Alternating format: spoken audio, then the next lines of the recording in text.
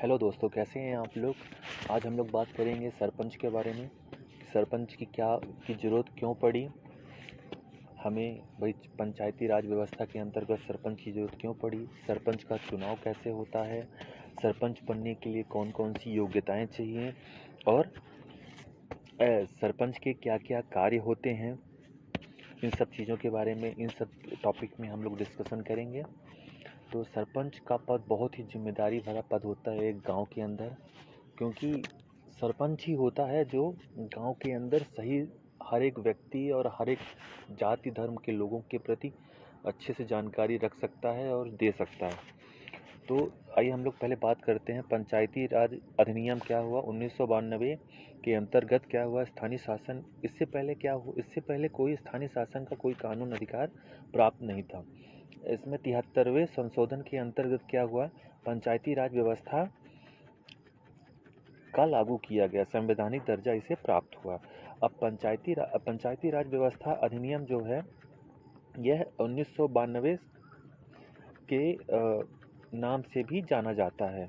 पंचायती राज व्यवस्था पंचायती राज अधिनियम उन्नीस सौ बानवे के नाम से भी जाना जाता है, जो 24 अप्रैल उन्नीस सौ तिरानवे से पूरे देश में लागू हुआ, अपने देश में 24 अप्रैल उन्नीस सौ तिरानवे से लागू हुआ था।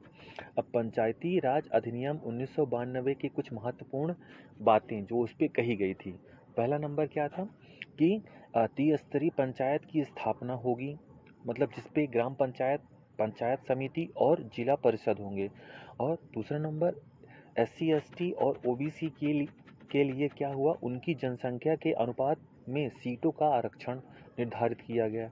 महिलाओं के लिए एक तिहाई सीटों का आरक्षण किया गया, जो कि अभी पचास परसेंट तक हो गया है। और पंचायतों की वित्तीय सुधार के लिए राज्य वित्त आयोग का गठन किया गया। हर पाँच वर्ष में पंचायतों का नियमित रूप से चुनाव व राज्य चुनाव आयोग का गठन हुआ। और ग्यारहवीं और और क्या हुआ? ग्यारहवीं सूची ग्यारहवीं अनुसूची के, में सूचीबद्ध उनतीस विषयों पर आर्थिक एवं सामाजिक न्याय के लिए योजनाएँ तैयार करके उन योजनाओं को क्रियान्वित करवाया गया। मतलब धरातल पे ये ये योजनाएँ लागू होनी चाहिए। इसका निष्पादन कराना चाहिए या होना चाहिए। आदि बहुत सारे टॉपिक थे उस पर अब हम लोग बात करते हैं कि सरपंच के चुनाव का चुनाव होता कैसे है। तो सरपंच का चुनाव सबसे पहले क्या करते हैं? चुनाव गाँव की जनसंख्या के अनुपात में रो रोस्टर व्यवस्था के आधार पर S C S T O B C के लिए सीटों का निर्धारण होता है। सरपंच वही बन सकता है जिस वर्ग के लिए सीट सरपंच सीट आरक्षित की गई होगी।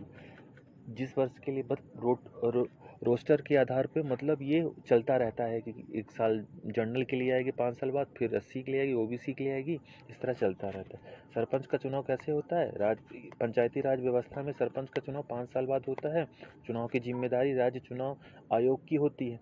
राज्य चुनाव आयोग क्या करता है? चुनाव को संपादित कराती है और ग्राम पंचायत की वोटर लिस्ट में शामिल मतदाता जो होते हैं, आप और हम द्वारा सरपंच का प्रत्यक्ष रूप से चुनाव किया जाता है। सबसे ज़्यादा जो वोट पाता है, वही पंचायत, वही सॉरी सरपंच बन जाते हैं। अब सरपंच पद के लिए कौन कौन सी योग्यताएँ होनी चाहिए? सरपंच पद में क्या है? उम्मीदवार की कम से कम न्यूनतम आयु 21 वर्ष से ऊपर ही होनी चाहिए। अब उम्मीदवार का नाम उस ग्राम पंचायत सूची में होना चाहिए जहाँ से वो चुनाव लड़ रहा है।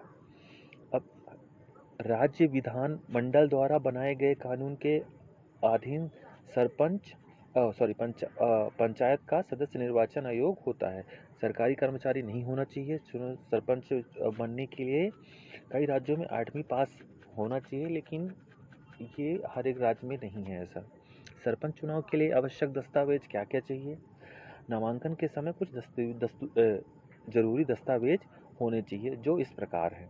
पहला, आधार कार्ड, पैन कार्ड, मूल निवास प्रमाण पत्र पासपोर्ट साइज़ फ़ोटो मतदाता पहचान पत्र, आरक्षित जाति का प्रमाण पत्र, शौचालय का शपथ पत्र और प्रशासन द्वारा मतलब पुलिस प्रशासन द्वारा चरित्र प्रमाण पत्र भी होना चाहिए और सबसे खास बात, सरकारी कर्मचारी नहीं होना चाहिए।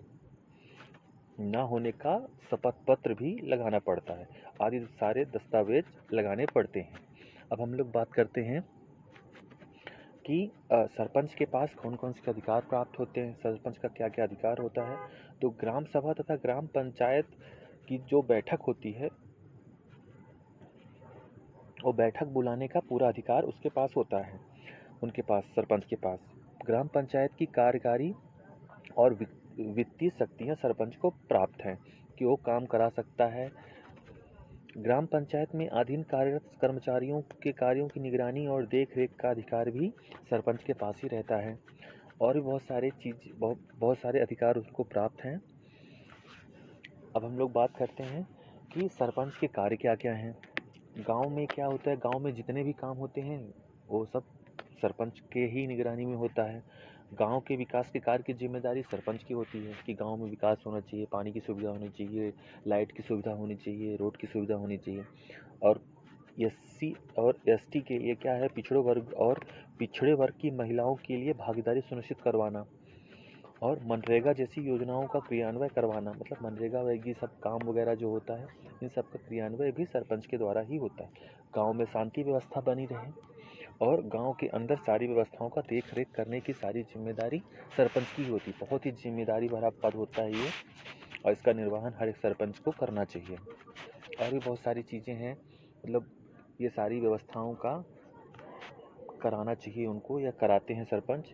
देखा जाए तो ये बहुत बड़ी एक ज़िम्मेदारी होती है सरपंच के पास ये गाँव का क्योंकि मुखिया होते हैं और सरपंच ही होता है जो क्या होता है एक गाँव में सारे व्यक्तियों से मिल मतलब सारे व्यक्तियों के बारे में अच्छे से जानकारी रखते हैं, अच्छे से उनके बारे में अ, उनकी स्थिति परिस्थिति के बारे में अगव अवगत रहते हैं।